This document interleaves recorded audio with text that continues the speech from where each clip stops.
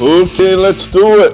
It is Eric Arnold here back in the sports barn, and it is Saturday morning, early, early.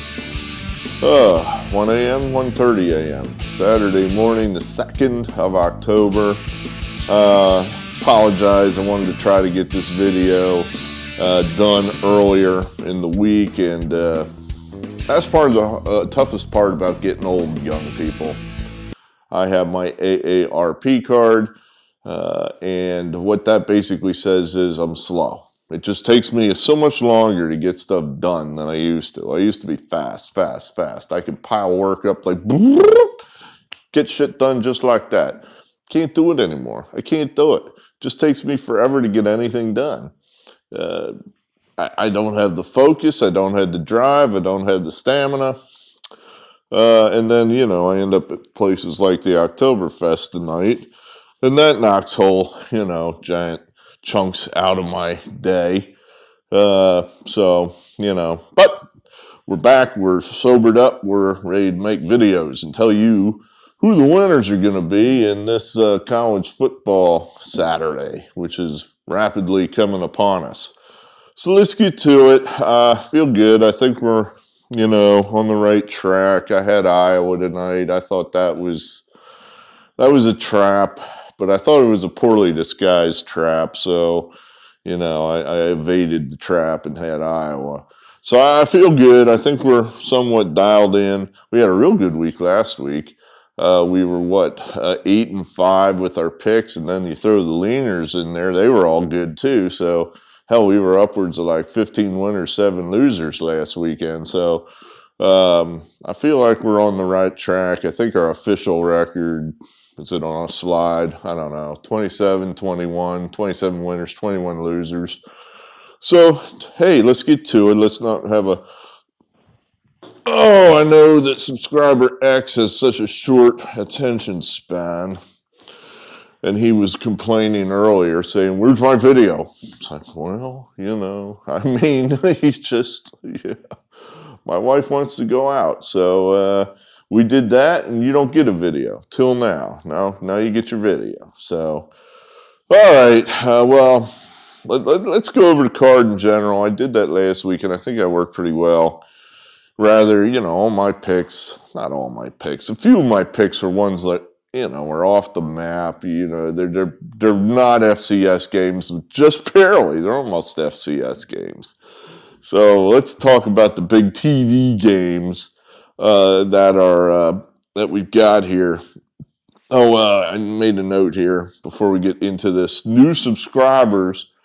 Uh, we had one here. Higher synth. Higher synth. Thank you for joining Higher Synth and we hope he give you some winners today. So salute. And uh, so let's see, what do we got? Well, we had I. That's such a big game as they're starting to do what I said. It's like put some of these massive games on Friday, and this was a big game tonight. This Iowa Maryland game. Uh, you know, Maryland undefeated, um, and Iowa. Yeah, I think what happened tonight was just as a coaching mismatch that uh, Kirk Ferentz just um, baited Maryland into you know throwing the ball every down, and you can't do that and win in the Big Ten. So uh, six interceptions or some damn thing like that for Maryland. So wipe out in favor of Iowa. Big game next week. Iowa playing Penn State out at Iowa. That should be very exciting. But before we get to that, we're jumping ahead here. So uh, what? I guess here we go, Wisconsin, Michigan. That's early. This is this is another one of these like eleven o'clock starts. I don't know. I mean, uh, you know, I guess the Wisconsin hasn't beat a ranked team in forever, uh, but I I just think that Wisconsin pounded these guys last year, and then now suddenly it's all 180. It's all different. That Wisconsin's no good. I mean, it was kind of, I'm not 100 percent sure what happened in Chicago last uh, weekend. It was close, close, close, and then yeah, I didn't see a minute of that game. I was, you know, otherwise occupied with uh, uh, uh, at my wife's family's place, so I didn't see one minute of that game. Uh, but I don't know. Notre Dame exploded there at the end. What happened, Wisconsin? So I'm not sure if Wisconsin's any good, but I'm not sure if Michigan's any good. They struggle with Rutgers. So we're going to lean Wisconsin here. Just kind of, Michigan generally doesn't play that well out there. They never have. So I'm kind of, you know, thinking Wisconsin finally gets well. You know, this is one of these trick games where, you know, the unranked team is favored. You go, hmm. you know, there's a ranked team and they're an underdog. Why is that? We'll say Wisconsin there. Massive game here. Is this the biggest game since 1964 for you people from Arkansas? You know, Arkansas versus Georgia, the out of nowhere Arkansas Razorbacks. I will say this right now if Arkansas wins this game, they should be the number one team in the country. No questions asked. They should be the number one team in the country. I don't think they're going to win this game though, but I think it'll be close. I just the number's too big. I mean, my model likes Georgia, Georgia, and I just can't do it. I, I just think the number is way too big. I just think Georgia has a knack, especially at home, of not running the score up on decent competition. That, that you know, they've they've had some pretty big spreads on some decent teams in the last few years, and they they generally get those games, but they just can't quite blow these teams out. So I'm kind of thinking Arkansas will hang around in a uh, make this close, but not close enough. I think Georgia will win the game. Notre Dame Cincinnati. This is such an interesting game. This is very rarely do you have games like this where you, they're finally going to let one of these, uh, whatever, uh, uh, poor bastard children that we stick in the orphanage and never let play with the other children, they are finally going to get their chance. They're going to get their chance allegedly at the big time. In other words, what they think is going to happen is if they beat Notre Dame, then they're going to get to play with the other children at the end of the year, that they'll get the playoff spot. Uh, you know, a couple things about that. One, I'm not so sure that that's going to happen. And two, it's not going to happen because they're not going to let it happen. They're not going to let it happen. Notre Dame's going to win this game. And if they don't win this game, they're going to win this game because the powers that be want Notre Dame to win this game. They don't want Cincinnati to be anywhere near that damn playoff. And this could be the last chance to stop these guys. So, uh, you know, ask Jimmy Johnson about that. Strange things tend to happen at South Bend when the game and the money is on the line. Strange things seem to happen, and that's what's going to happen tomorrow or tonight or today. Yeah, Cincinnati may be in it for a while, but then, you know, a key pass interference call, or maybe Notre Dame's just better. Well, I think I'm leaning Notre Dame pretty hard there. Uh, West Virginia, I think they'll cover over Texas Tech. How good's Texas Tech? They just get beat by 35 points by a team that I don't know is all that good either. So I think we're leaning West Virginia there. Uh, big game, Mississippi, Alabama. My God. Yeah, some would say this might be Alabama's only chance to lose all year. Uh, again, I think the number's too big. I, I, I'm kind of coming down with the theory right now that this is a anybody's year. That there is no super team this year. There is no LSU with Joe Burrow and, and Joe Burrow and, and and and who was the running back? I forget. Uh, kids at Kansas City now, and his name escapes me. Uh, Helaire, that's it.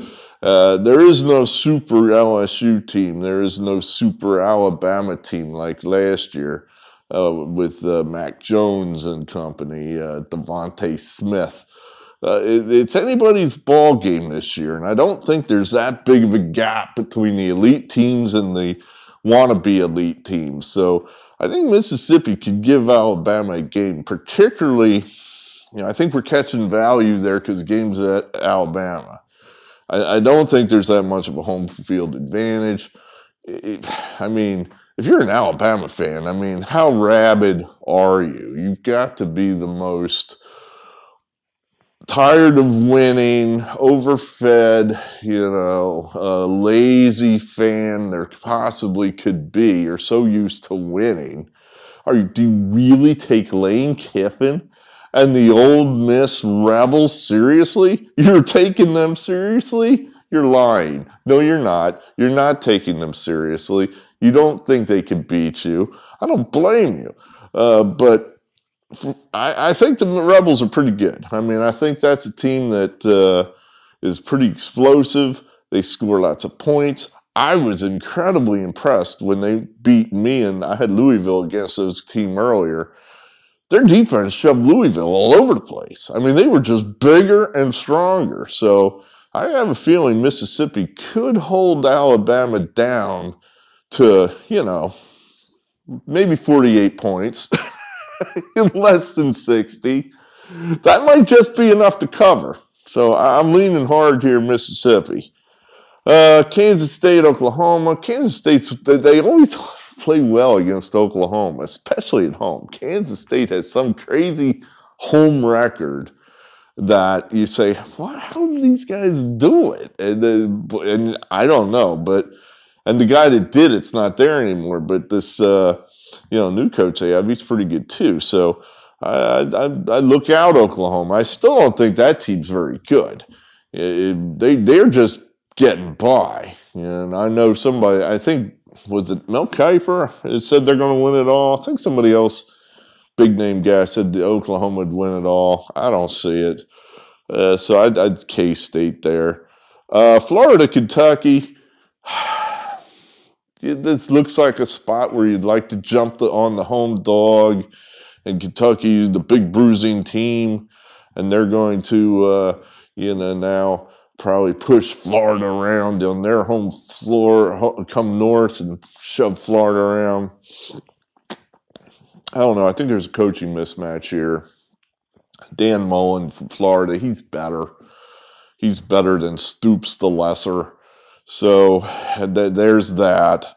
Plus Mullen, I think he sees he has a chance at the brass ring. This is this could be his deal here. You know, all he's got to do is beat Georgia in the world's largest cocktail party. That's all he's got to do. He beats Georgia, beats all these lesser teams. He's in the SEC title game. And then he just needs to win that, and he's in the playoff. And then really, he's you beat those teams, you can beat anybody. So you know, I think, and him coming that close to Florida or uh, Alabama, I think he feels, and he might be right. We can beat anybody. So I think they're going to hammer Kentucky. Uh, oh, Indiana, Penn State. Oh my. Um, uh, for those of you outside the Big Ten country, uh, forgot or don't care.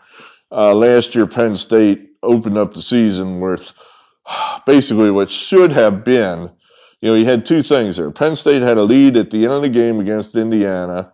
Anyone other than a complete fool would have won the game, but James Franklin blew it, basically gave the game to Indiana through some just stupid coaching, flat stupid coaching. And uh, uh, also, then there was a very, very questionable officials call right at the end there that probably was wrong. So all this conspired to put Indiana in the winner circle. So now Penn State has a fantastic team and they are going to get their vengeance. I don't think they are. I think Indiana is going to keep this close, particularly now with Penn State. You know, after that monster performance that Iowa put up tonight, I think Penn State's going to be you know, looking over the fence there, saying, "Oh shit, we gotta go out there and play them." And then we're gonna play, and all they're gonna wave to the kids, the sick kids in the hospital. And how do we overcome that? And meanwhile, Indiana's they're gonna, you know, they want to win a game. They haven't been off to a pretty bad start, so I think they're gonna be loaded for bear. Indiana. Oh, Auburn LSU. I don't know. I, I think the barstool guys that get me brainwashed at LSU sucks. So I'll take Auburn. Um, UCLA, Arizona State. I don't know. I, I'm, I'm, I guess I'm just leaning Chip Kelly here. I think he's I think he's probably a better coach than Herm Edwards, so I'm going to lean uh, uh, UCLA there on that late night game. But let's get to the ones that actually feel something with, you know, I stand behind. We got a bunch of them here. What do we got? Six. 16. 16 games. So let's get to this here. Uh, we got Tennessee early, uh, three points, Missouri. I don't remember. I don't remember. I honestly don't remember. I just think maybe, you know, Tennessee is uh, historically a better team, a bigger team, a more historied football power than Missouri. And I think that stuff does matter. I really do. You know, it, it's, you know, it, it, yeah, some of it is what have you done for me lately? But then you've got all those boosters, you've got all that money, you've got all that power behind the program. That translates into recruiting, which translates into talent. So if you've got a big, giant freaking program, even like Tennessee, that's on the skids, they haven't been good, you still got a lot of money behind that program. And money translates into recruiting, which translates into talent. So I'm going to say there's just a little more talent on the Tennessee team than the Missouri team. Uh, and we'll take Tennessee there and the points. We always like points. You know, here we here we got a team where we got a bigger institutional historical advantage, and we're getting points. Yeah, yeah, yeah. Give me Tennessee. Uh, Toledo crushing Massachusetts. I don't know why that's there. I honestly don't. I guess we're just trying to think that maybe UMass is awful and uh, uh, Toledo maybe just jump all over them. I don't know. That that one feels a little sketchy to me, but it's there. We'll say it. No problem. Here we like this game. Uh, Temple at home in Philadelphia against Memphis. Uh, Memphis coming off a bruising, come from a head loss against San Antonio.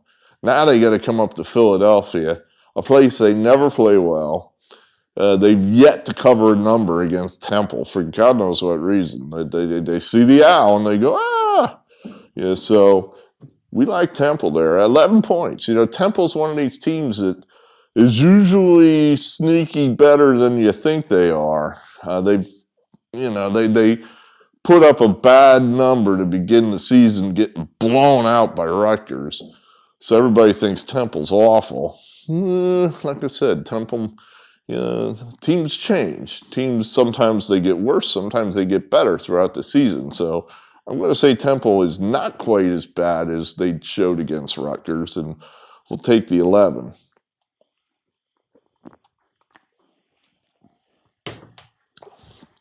Texas TCU. Apparently, TCU has had it over Texas for the most part in the last uh, five, six years.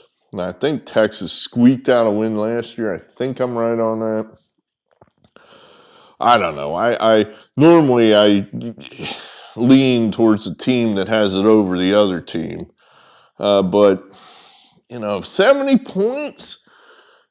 You know, you can win a couple ways in college football, and one way is to just outscore the hell out of the other team. You know, just just Chip Kelly them, just run the fucking score to the moon, and maybe that's a team Temple's in, or uh, uh, Texas intends to be. I mean, they gave up 35 points and still, you know, beat them by 35 points. That so, you know, uh, uh, uh, so you're laying four points.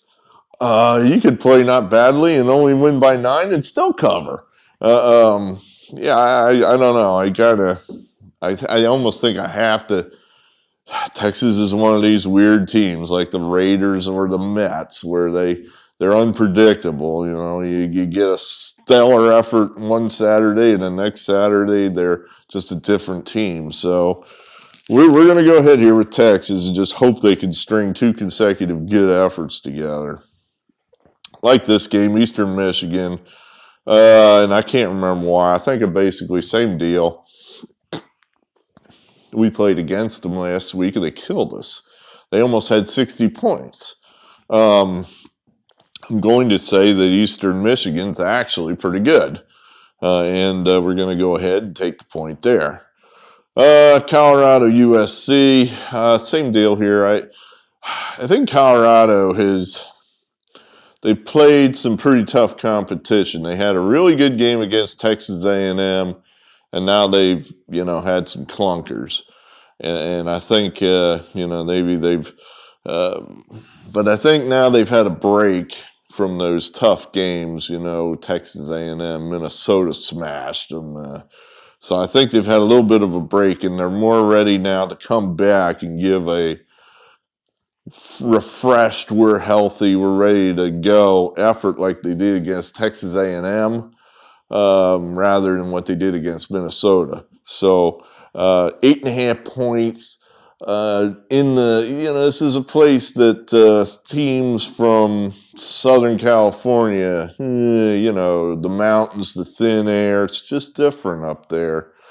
And USC is no special team, if you will. I mean, they got pounded by Oregon State last week. So, you know, what are you going to get with USC? Good, bad.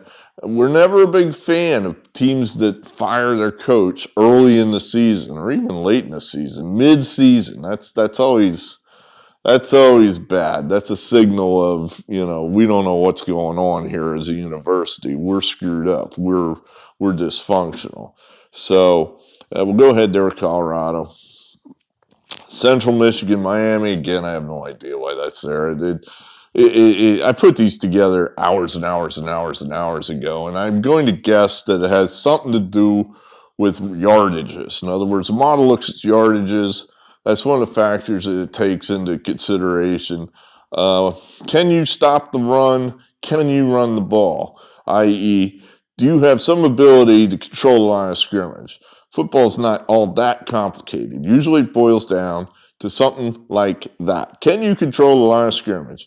And teams that cannot control the line of scrimmage, teams that can't run the ball, teams that can't stop the run, that's where the model's usually looking and saying, you, you, you stink. We, we want to play against you. So I don't know if that's the case here, but uh, we'll take Central Michigan. Uh, Ohio State Rutgers, I you know, last week, I mean, I guess that just illustrates why Ohio State has such a good against the spread record uh, since, you know, uh, uh, John Cooper left town. Who's John Cooper? No, I could tell you stories, but I won't.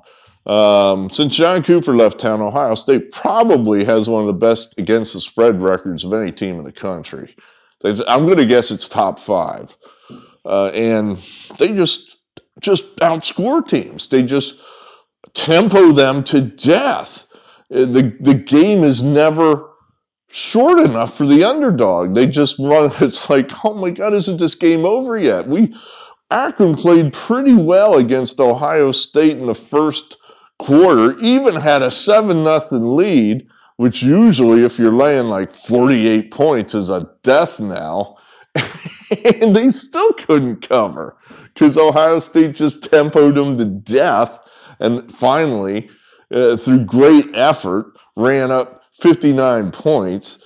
Probably the worst 59 to 7 game I've ever seen in that you didn't look like a team that beat somebody 59 to 7. You guys didn't look good at all. At all. That that what is his name? Jack McCord? Boy, he didn't look good. I don't think we have a quarterback. I, I does JT Barrett have another year of eligibility? He's probably 30 now we could probably bring him back. I don't know. I wonder what uh, Jim Carter, what was that guy's name? I forget. I'm trying to remember the name of the quarterback when I was in school. I can picture the guy. I can't think. He, had a Greek name. Karsatos? Was that it? Anyway, um, we're going to take Ohio State here. I just think this is more play against Rutgers necessarily than a play on Ohio State. I think Michigan softened Rutgers up for us, and now, you know, there's going to be 20,000 Ohio State fans up there at Piscataway this, this afternoon. It's going to be pretty heavy Ohio State uh, travel crowd up there. And uh, I, I, just, I'm not buying Rutgers. They're about due to get crunched once. Uh, they they played really well against Michigan, But now I don't think they're deep enough to just do that week after week after week against good competition. So we're going to say Ohio State finally gets well here and takes care of these guys. Oh, let's see. East Carolina, Tulane. I have no idea why that's there. I mean, it, again, it's probably a yardage deal.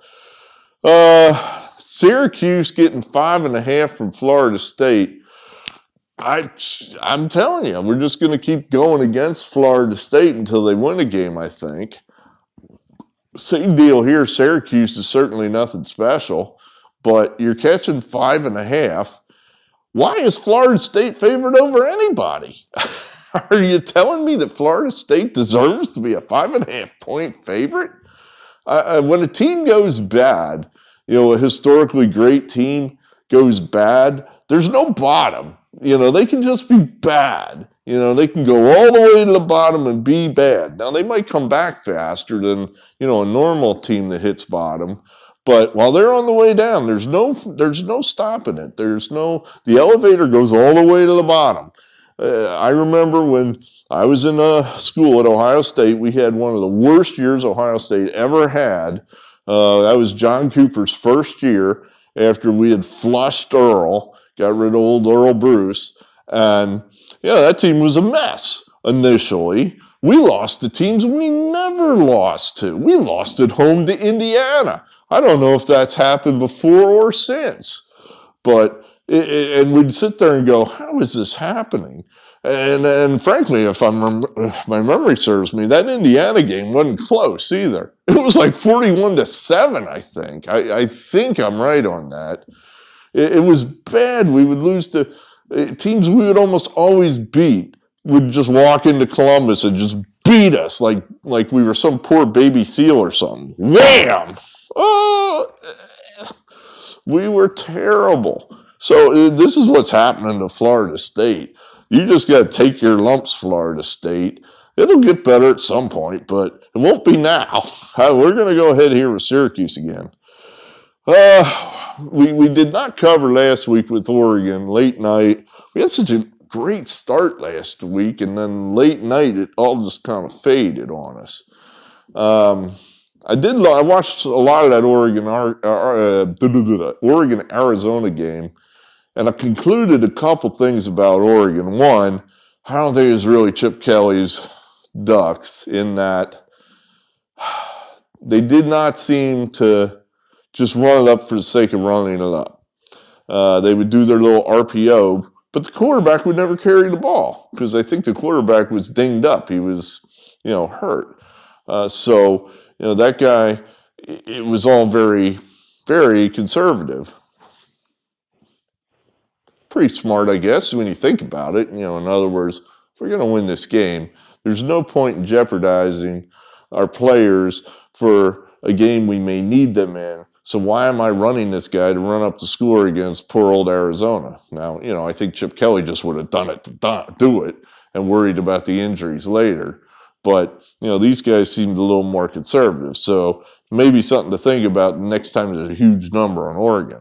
Um, that being said, I still think Oregon's a really good team. I mean, they whipped us like we stole something when they came into Columbus. They drilled us, and they didn't even have some of their best players. So I really think Oregon's got another gear. I think Stanford's going to find that out. I don't think Stanford's that good. So I think uh, Oregon certainly seems to be the play here. Uh, let's see. Akron, I. You know, normally I wouldn't be looking at Akron coming off a game against Ohio State.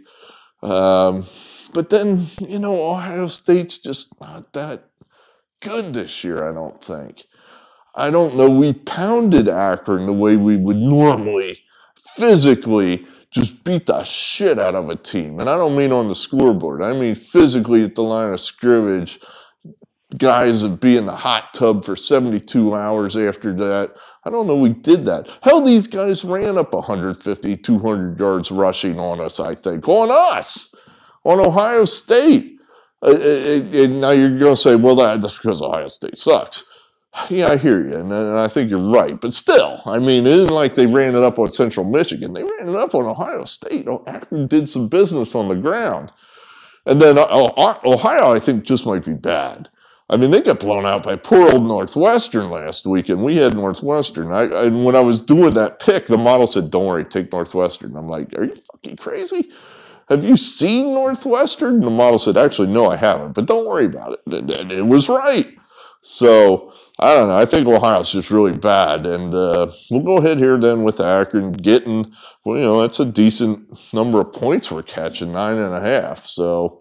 Uh, you know, Ohio hasn't done much of anything so far this year, so let's see if they're Akron's that bad and Ohio's actually deserves to be this kind of a favorite. I say they don't. Hey, let's go ahead here with Army one time. You know, Army's uh, uh, you know, they're undefeated. They seem to be just covering numbers left and right, rolling right through the MAC. Uh, so we'll go ahead with Army. Uh, North Carolina State, uh, yeah, this is one I don't love. Um, but Louisiana Tech has played close in a number of games and lost, and they've been playing some pretty good competition. And I think this might just be the game they crack on. You know, whereas North Carolina State, you might say, well, they're hung over from the Clemson game, and they'll they'll just not show up, and that's certainly possible. Oh, the other thing is they might just be really good. They might just be really good. They just beat Clemson. What if they are a top 15 team, North Carolina State? You know, then then they should cover this number. So we're going to go ahead there. It's uh, State. Uh, Rice, Southern Miss. Again, this is a, a yardage deal. Uh, we don't think Southern Miss is uh, going to be able to stop the run. Rice uh, they played pretty well for a half against Arkansas, who, you know, they're pretty damn good, Arkansas. Pretty goddamn good, and Rice played with them. Uh, now they've been smashed by some, you know, I, they, I think they Rice got worn down by some really heavyweights. Last week they had a cupcake um, FCS team. I can't remember the name of it, but I think that resets Rice, gets them refreshed, kind of ready to play like they did in that first half against Arkansas, which should be more than enough to take care of Southern Miss. Lastly, we got Mississippi State, Texas A&M. Uh, I went back and forth on this one. Um, I don't know. I don't think Texas A&M uh, uh, looks like they can uh, stop the run. It looks like pe- teams just run on these guys, which surprises me. Uh, whereas Mississippi State I was ready to say, oh, but that won't matter because Mississippi State won't run the ball, and that'll be it. They'll. I'm going to say Lynch is a good enough quarterback uh, coach. Uh, Mike Lynch. I got that wrong. Mike Leach. I knew that was wrong. Mike Leach. I'm going to say he's a good enough coach that he's going to recognize when he has an advantage. He's like, all right, I hate to do this. I hate to run the ball, but – we can do it here. We, it does give us an advantage, and I think he's going to do it enough that he'll keep it close, and uh, uh, Mississippi State will cover the number against A and M, which I don't know is you know they they they haven't played very well. They they struggled. They barely beat Colorado. Uh, they got I think pretty pretty securely beaten there by uh, Arkansas. So Mississippi State could very well be undefeated. You know, they just a bounce here, a screwed up deal there, uh, and you know they're they're two and two, but they could be four and zero. Oh. Um, I'm going to take State here. Going to take State. We'll see. We'll see. So that's what we got. I I, I feel okay. I you know I don't know. I feel super about these picks. Uh, I guess we'll just find out. You know they could. Uh, you know, we'll see.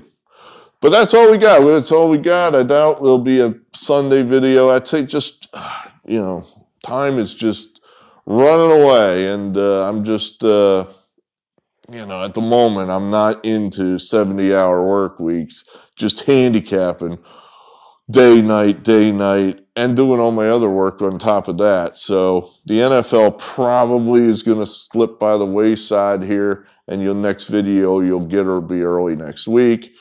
Uh, I think I'm going to turn around and give you a politics barn uh, uh, episode now since I'm here. Might as well go ahead and knock that out. And uh, I figure those are two separate audiences anyway, so uh, then it won't matter that I double up the video, one right on top of the other. Good, great, thanks. Hit the like button if you want to. Uh, subscribe if you really want to. That makes me feel good. And we'll see you again. So let's have a good day of college football. Eric Arnold signing off.